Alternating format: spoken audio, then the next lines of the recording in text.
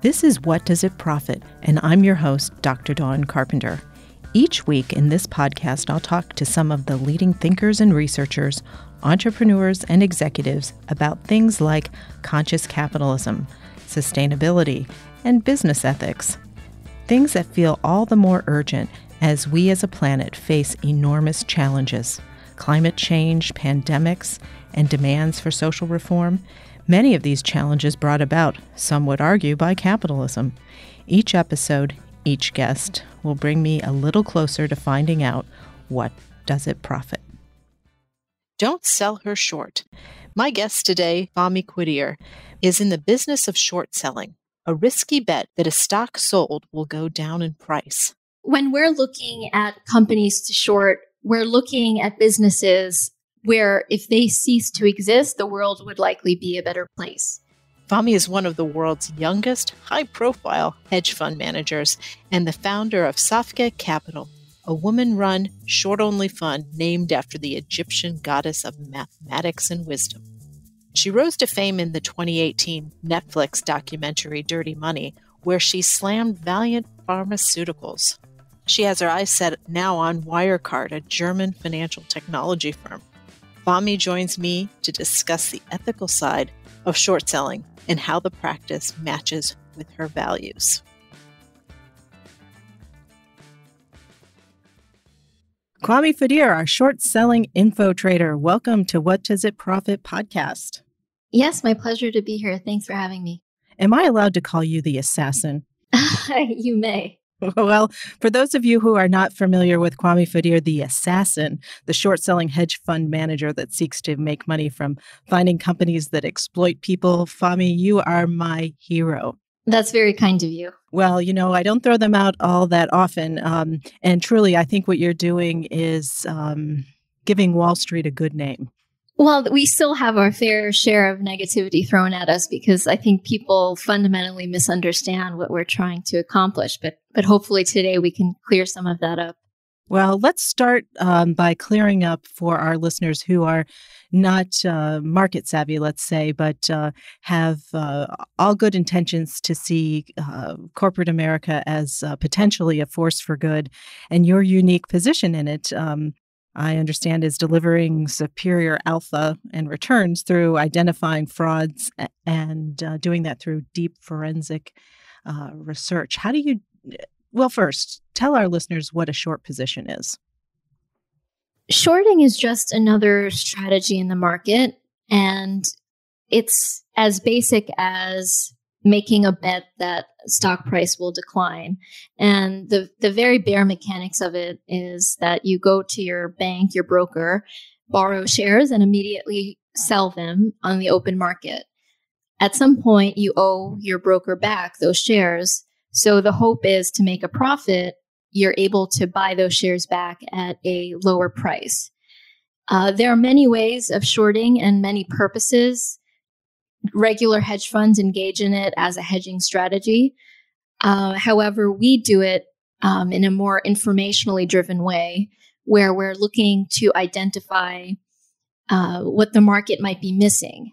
And through our short selling, help there be price discovery and therefore market efficiency. So it sounds like you're really doing a um, a service to the market by um, maybe filling in the holes in those um, perhaps maybe sometimes uh, fantastical stories that uh, investor relations departments want to tell about the uh, beautiful narrative of companies that do no wrong. Exactly, and academic research has shown that short selling is a pretty good indicator of price inefficiency. So as you see shorts interest rise in a particular stock, investors should be weary um, of perhaps missing something. Uh, well, you know, uh, there's a lot of talk going around now about the Enron of Europe, uh, Wirecard, and the accounting fraud of the of the decade. Tell us a little bit about uh, how the regulators saw short selling in in that environment, or maybe even backtrack and just tell us about the story of Wirecard. Personally, I, I, take issue with the comparisons to Enron. I think Enron was primarily an accounting fraud, whereas Wirecard is primarily a money laundering vehicle. And the accounting fraud was part of covering up that business behavior. But what I, I will say about the whole saga is that Wirecard started as a payment processor, basically facilitating online transactions, digital transactions.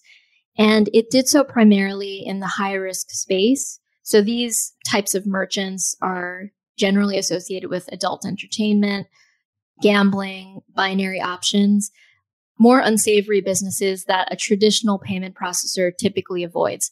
And the reason they avoid these businesses is because the risk of consumer fraud and chargebacks, uh, where a consumer may say that a f- transaction is fraudulent and then therefore request their money back. The risk of these chargebacks are much higher in the high risk space. So typically a payment processor that focuses on these types of merchants is limited in size and can't get to become the 20 billion behemoth that Wirecard did at its peak. So that in and of itself was cause for concern.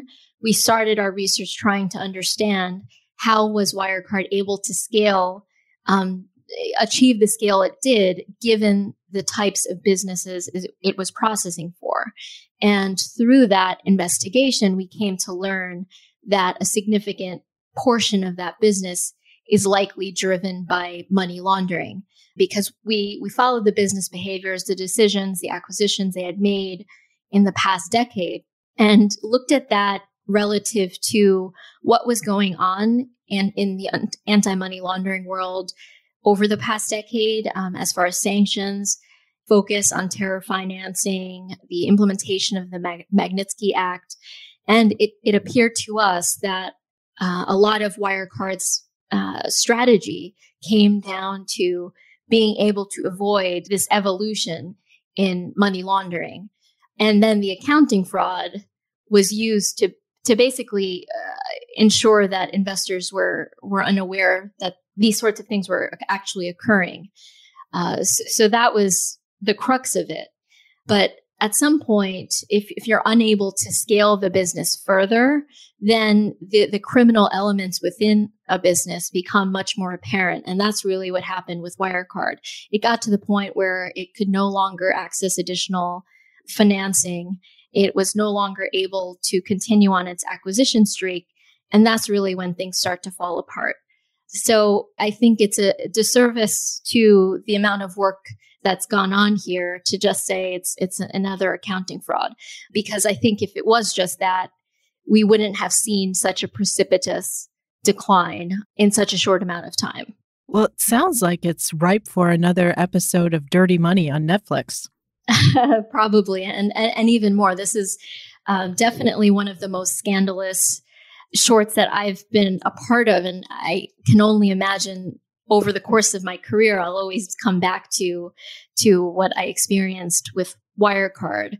Um, you know, down to the fact one of the co-founders is currently under the protection of the Russian GRU. so it, it's, it's certainly um, very scandalous, and it'll it'll make for for good for good drama one day. Oh yeah, well, hopefully it didn't require you to hire any protection for helping to uncover this if I could have afforded it, then I probably would have hired protection. oh, how come the good guys always get hosed?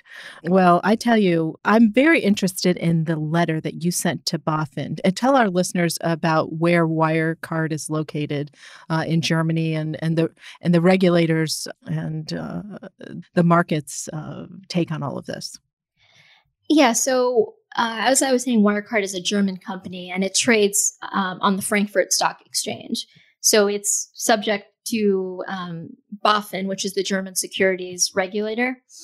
Short sellers generally do get a bad rap, but I would say that the US, for example, has a much more mature and developed understanding of short selling, and the regulators are also far more aware of the role that short selling plays in, in market liquidity, efficiency, etc. So when we think back to the great financial crisis, short selling was banned in financials, but when the SEC revisited that decision, they believed uh, it, it, actually didn't necessarily help the market, um, and they wouldn't have done it again. So for for the German securities regulator BaFin to come out and in an unprecedented fashion ban all short sell in a single security Wirecard, it was absolutely astounding. It was bizarre. There really, it left me speechless because Wirecard isn't a consumer financial institution in the, the traditional sense, and therefore doesn't necessarily have any role as far as the greater market stability um, or trust in the financial system within Germany.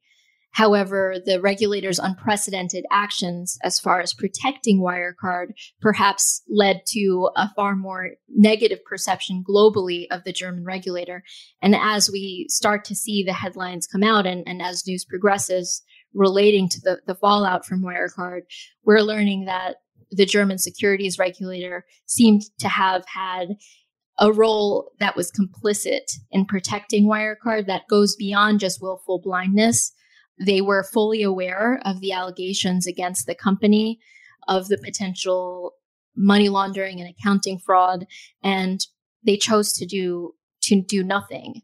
And at this point, it's too little too late. In 2005, a little known startup called Wirecard joined the Frankfurt Stock Exchange. The payments processing company soon became a unicorn, eventually surpassing Deutsche Bank, Germany's biggest bank, in value and attracting notable investors such as SoftBank. Despite allegations of accounting irregularities over the years, Wirecard grew to become Europe's largest financial technology company, worth $28 billion at its peak.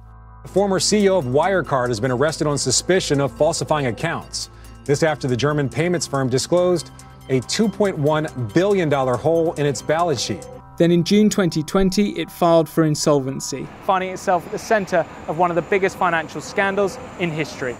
You know, it, it's hard to say how much damage this will do to Germany's role in, in the greater financial system, the global financial system. Uh, I think year after year, we're seeing German banks come under fire for money laundering, and very little has been done on the part of the German financial establishment to actually make a difference and, and make a change. So hopefully this is a wake up call and that the you know the German public actually stands up and, and demands change. Well, I don't know how how many radars this gets on um, with your average person, but for those of us who, you know, play around in this area and see that um, markets really um, do have a, a, a, large impact on society, I, would have to tell you, I'd give you the Pulitzer for economic letter writing uh, for your 15 page Tome, you said you uh, were speechless. I think you had plenty to say. And if you'll indulge me, I, I think our listeners have to hear this. You close out your letter. I don't know if you would use the word admonishing BaFin, but um, I would. Unfortunately, that the uh, sequestering of or the stopping of short sales, uh, those, those are my words, not yours, plays directly into the flourishment of libertine corporate lifestyle where truth is created as an illicit currency, journalists and whistleblowers are demonized, while executives are given free rein to act without fear of criminal enforcement. Uh, well, there has been some criminal enforcement. What happened to the CEO? He was arrested. He's currently out on bail, um, and other executives have also been arrested. Uh, so it's good to see justice finally being served, but it's again too little too late. And even at in this moment in time, while we see the US DOJ actually considering possible money laundering violations here, the German establishment is still trying to play it off as just an accounting fraud. Basically, tried to minimize the extent of what Wirecard perpetrated in the market. But I think there are too many eyes on this now um, that the German regulators simply can't get away with it. So you have global interest in what's gone on here. And I think that'll hopefully lead to proper justice. Well, what does justice look like for you? Uh, everyone in jail and the and the company closed down, or is uh, who's harmed by all of this?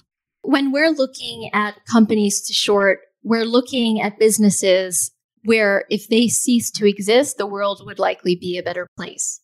From our research, Wirecard was providing a platform for some of the worst in the world. And you know that that ranges from everything from consumer fraud to possibly child pornography.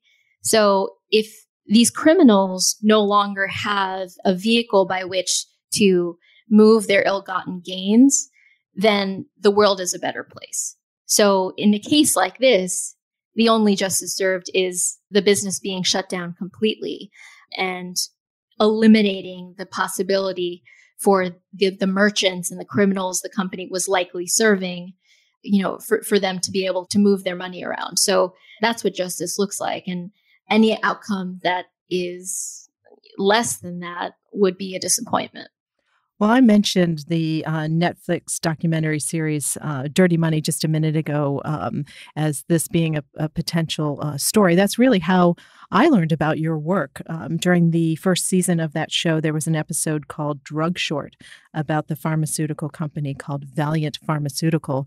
And you played a role in that uh, story. Uh, tell us how that worked and uh, how you found out about Valeant and, and how the story played out. Well, I'll start with the more recent news on Valeant first. Um, we were talking just a, a, bit ago about accounting fraud. Well, the SEC just fined Valeant years later, well, five years later, a whopping 54 million, which I, am being sarcastic. It's like 20 minutes of profits. Right. And, and this is after Valeant was the single greatest loss in hedge fund history, given how many investors got sucked in to the very seductive business model of basically a private equity firm, but a pharmaceutical company. So it just goes to show that in the current market environment, accounting fraud is something that is treated as immaterial and companies get away with it left and right. So as a short seller, we need a lot more than just accounting shenanigans because we can't always depend on regulators to treat that in a properly punitive manner. Um, but that being said, for me, when you have a an established industry like pharmaceuticals and you have a company come in trying to completely uproot the business model and the way the business operates, the the fundamentals of the business, the margins all look completely anomalous within the industry it's usually done in a way that perhaps is, they may be walking a, a fine line of, of what's ethical or even legal. You mean jacking up prices on life-saving drugs and and the like? Exactly, exactly. So, so we, what we started out, the first thing I did was look at Valeant's entire portfolio of drugs um, and see how those drugs performed pre-acquisition by Valeant and post-acquisition. And what became very obvious very quickly is that once Valeant was acquiring these drugs, the, the number of people actually taking those drugs would fall off a cliff. And that's because the prices were increasing so exorbitantly. So the only way Valeant was able to grow was really by continuing to acquire these drugs and repeat this process. So it wouldn't be sustainable um, because you can't acquire forever. And at the point I began shorting Valeant, it's it became clear to me that they really wouldn't be able to make an acquisition of scale. So with these roll-ups, once you get to that point and you start, you you can no longer have that inflated revenue growth by acquisition. Things start to fall apart, and and that's clearly what happened.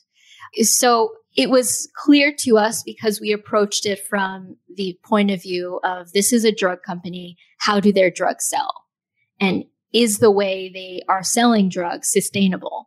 And it only became a headline far later, um, where investors sort of ignored how the portfolio of drugs was performing because they had so much faith in management and the ability to financially engineer the success of the business, uh, which I just feel was misguided. You know, there were some big names in the hedge fund world that uh, bought into this. Yes. And I think as time went on, those investors did say that that they did miss some of this in their due diligence. It's very alluring to have someone like former CEO Mike Pearson at the helm. People thought of him as an outsider, but really he was an ex McKinsey guy who knew exactly how to engineer success at the business, but success at what cost? And uh, the, the cost being patients and their health, uh, which for the industry is not a long term sustainable way of operating. Why do they call you the assassin? So, though I've appeared in Dirty Money and I, I was strongly publicly against Wirecard for some time, it's not my standard operating procedure. Uh, really, where I'm most comfortable and, and where I prefer to be is just behind the scenes, focusing on the investigations, on the really deep research, and collecting as much evidence as we can to be right. So formulating those those action plan strategies to ensure justice is served in these very dangerous, delicate sort of situations. Uh, so they call me the assassin because of that cloak and daggers approach to shorting. Even with something like Wirecard, the only reason we we ultimately did go public with that short position was because of the short selling ban that was put in place. Uh, so we we really like to do things behind the scenes because I'm not sure if if a hedge fund manager like myself is necessarily the best messenger for this information because obviously I have a financial interest in what the stock does. So the appropriate messengers are, are regulators, journalists, etc., who people look to for getting to the truth. So uh, we, we would rather do things silently wherever possible. Well, I would think that you probably have those regulators and uh, business journalists on speed dial. well, they, they won't always necessarily agree with me, but but smart minds who are approaching the same problems from different angles are always good to know because it can often provide a sense check on our own work. Well, you know, we have this quintessential what does it profit guest question, and I'm going to pose it to you. So if you can put your philosophical hat on, you know, short selling, what does it profit?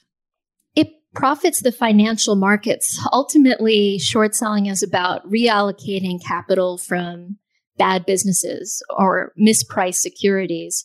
So if we can get capital from some of these fraudulent companies that have exploitative business models or that are misrepresenting themselves to shareholders, then that means there's more capital to go to businesses that are providing a service to society. Um, and it, not only that, it minimizes losses that investors will experience over the long term because fraud can ultimately be one of the largest sources of loss within the market. Well, I think it's an incredible service that you provide. Um, if our uh, listeners want to learn more about what you're doing and we can uh, look at you online, but are there places that you uh, might suggest our listeners go to if they want more information about how to keep companies accountable? Well, I would start with the the letter that I wrote to BaFin because I think what it, it really does is lay out the the function that of of short selling and it also lays out the bits of information that uh, we look for in order to identify these mispriced securities. And all investors, regardless of, of whether you're short or not, if you're long, for example, you should always be concerned about what's the appropriate time to sell. Shareholders in businesses have a lot more power ultimately because they have voting powers within a company. So shareholders should really take advantage of that and of the voice they have to demand better from the companies they invest in, demand greater transparency, and ultimately that that would work towards the same goals that I'm trying to achieve. Tell us before I let you go about the creation of Safkhet uh, Capital. Uh, I love the name, by the way. My first uh, financial firm that I was involved in founding uh, was called EOS Financial Group, which was the Greek goddess of the dawn, which I always said was very narcissistic. But I think yours uh, is even better. Uh, you're named after an Egyptian goddess. Yes. So my first love was mathematics, so I wanted to have a nod to that in the fund, even though we, we were not ha- having any sort of mathematical strategy. The way I think is, of course, again, driven by my love for math. So, uh, Safkhet was an ancient Egyptian goddess um, of accounting, mathematics, and knowledge. So she seemed like a perfect fit for for what we were trying to do. Um, especially being a, a woman only, short only fund. Uh, it just it seemed to make sense. Oh, absolutely. Young, powerful, the woman in red. Thank yeah. you for finding some time to join us in the studio today. Um, we are, are grateful to have you. Yep, my pleasure. Thank you. This is What Does It Profit? Links to resources related to the issues we've discussed in this episode are in the show notes. Transcripts, reading lists, and lists of our friends can be found at whatdoesitprofitpodcast.com. In our next episode, we are talking corporate politics. No, not the kind of corporate politics that leads to backstabbing and corporate climbing, but real politics, election style. We will find out how it's done, and more importantly, we are going to find out how it's being done in our own portfolios. I think fundamentally my role is to help encourage more people to take part in the political process. So I'm really excited about this podcast because I do think there's a very strong intersection between the important role that organizations have, companies have, in uh, obviously offering products and services to the market or to their consumers, and also the ways in which they can participate, you know, in the political process as well. In the meantime, please rate and review us on wherever you're listening, and let your friends know about the show. Quick sharing links can be found on our website. Ratings, reviews, and subscriptions on your favorite podcast platform mean so much to us. We would love to hear from you. Show ideas and comments are always welcome. Follow us on LinkedIn, Facebook, and Twitter at WDIP Podcast. What Does It Profit is written and hosted by me, Dr. Dawn Carpenter. The show is produced by Jordan Gaspour.